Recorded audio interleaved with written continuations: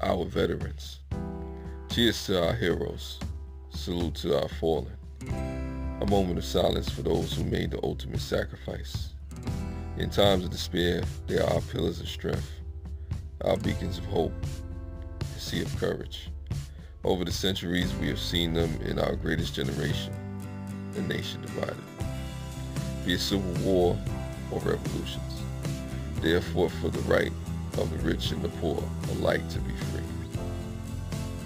By sheer will and grit, they have made this the land of opportunity and the home of the brave. They have stood for old glory through battle and hardship, even in the face of defeat. They don't pretend to be the perfect among us, but they are the truest in what they fight for. Duty, honor, and country.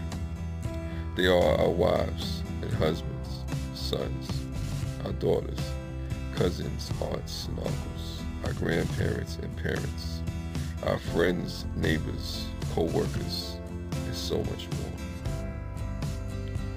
They are woven deep into the fabric of our society they are our silent warriors, our unsung heroes and heroines. Please, don't forget about our veterans. Please, don't forget about.